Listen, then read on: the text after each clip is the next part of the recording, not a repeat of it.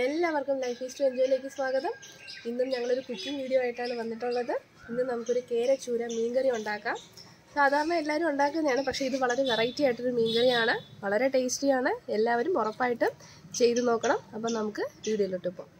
അപ്പം നമ്മുടെ ചട്ടി ചൂടായിട്ടുണ്ട്. നമുക്ക് അതിലേക്ക് ആവശ്യത്തിനുള്ള എണ്ണ ഒഴിച്ചു കൊടുക്കാം. എണ്ണ നന്നായിട്ടൊന്ന് ചൂടായിട്ട് വരട്ടെ. എണ്ണ ചൂടാകുമ്പോഴത്തേക്കും നമുക്ക് കുറച്ച് കടുക് ഇട്ട് കൊടുക്കാം.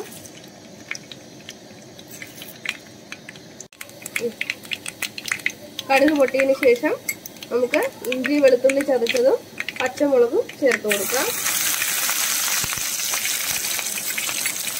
ഇത് നന്നായിട്ടൊന്ന് അരച്ചു കൊടുക്കാം. നമ്മുടെ ഈ കറിയിൽ നമ്മുടെ മീൻ കഴിഞ്ഞാൽ ഏറ്റവും പ്രധാനപ്പെട്ട ഇൻഗ്രീഡിയന്റ് ആണ് നമ്മുടെ തക്കാളി. അപ്പോൾ തക്കാളി നമ്മൾ ഉപയോഗിക്കുന്നത് കൊണ്ട് കുടംപുളി ഇടുന്നതായിരിക്കും കൂടുതൽ ടേസ്റ്റ് അപ്പോൾ കുടംപുളിയുടെ ആ ഒരു കുത്തലൊന്നും തക്കാളി ചേർക്കുമ്പോൾ നമുക്ക് തോന്നില്ല. അതിലേക്ക് കുറച്ച് കറിവേപ്പില കൂടി ചേർത്ത് കൊടുക്കാം.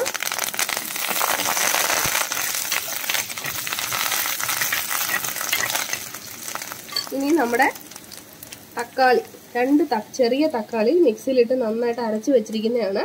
അത് നമുക്കിതിലേക്ക് ചേർത്ത് കൊടുക്കാം.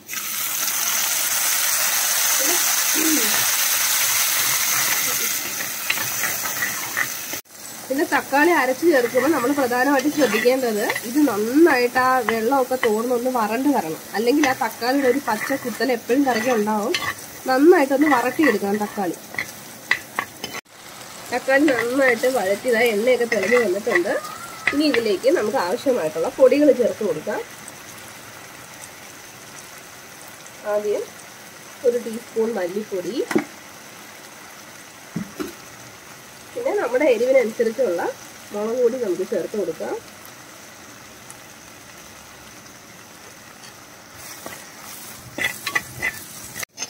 ഇത് കാശ്മീരി ചില്ലിയും സാധാരണ മുളകും കൂടി ചേർത്ത് പൊടിച്ചതാണ്. അതുകൊണ്ട് അധികം എരി ഉണ്ടാവില്ല. കുറച്ച് കൂടുതൽ ചേർത്താലും കുഴപ്പമുണ്ടാവില്ല. അധികം എരി ഉണ്ടാവില്ല. നല്ല കളറും കിട്ടും നമുക്ക്. ഇനി ഇതിലേക്ക് അല്പം ഉലുവാപ്പൊടി കൂടി ചേർത്ത് കൊടുക്കാം. നമ്മൾ മീൻകറി വെക്കുമ്പോൾ ഒഴിവാക്കാനാവാത്ത സാധനമാണല്ലോ ഉലുവാപ്പൊടി. ഇത് വറുത്ത് പൊടിച്ച ഉലുവാപ്പൊടിയാണ്. ഉലുവാപ്പൊടി എപ്പോഴും നമ്മൾ വറുത്ത് പൊടിക്കുന്നതായിരിക്കും നല്ലത്. കറക്കി കുറച്ചുകൂടി ടേസ്റ്റ് ഉണ്ടാവും.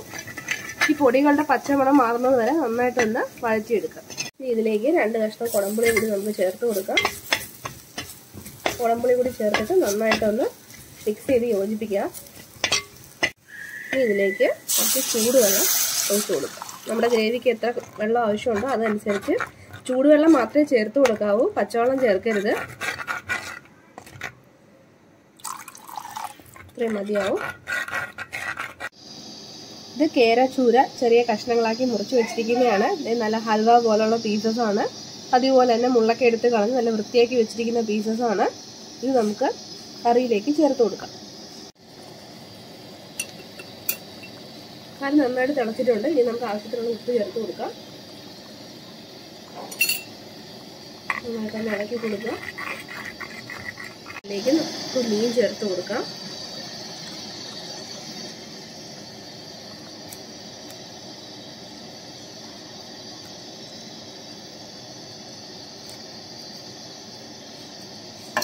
മീൻ ചേർത്തതിന് ശേഷം ചെറുതായിട്ടൊന്ന് ഇളക്കി കൊടുക്കുക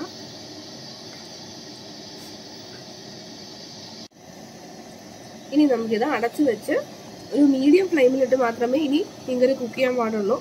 അടച്ചു വെച്ച് വേവിക്കുന്നതായിരിക്കും. നമുക്ക് ഗ്യാസ് ലാഭിക്കാം. പെട്ടെന്ന് വെന്ത് കിട്ടുകയും ചെയ്യും. നമുക്കിത് തുറന്നു നോക്കാം. നമ്മുടെ മീൻകറി റെഡിയായി കഴിഞ്ഞു. ഇനി നമുക്ക് അവസാനമായിട്ട് കുറച്ച് കറിവേപ്പില കൂടി ഇതിന്റെ മേലിട്ട് കൊടുക്കാം.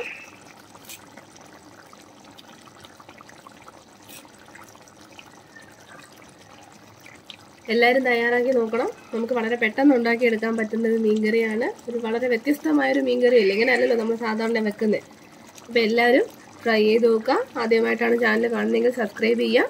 പുതിയ വീഡിയോയുമായി നമുക്ക് വീണ്ടും കാണാം. അതുവരെ ബൈ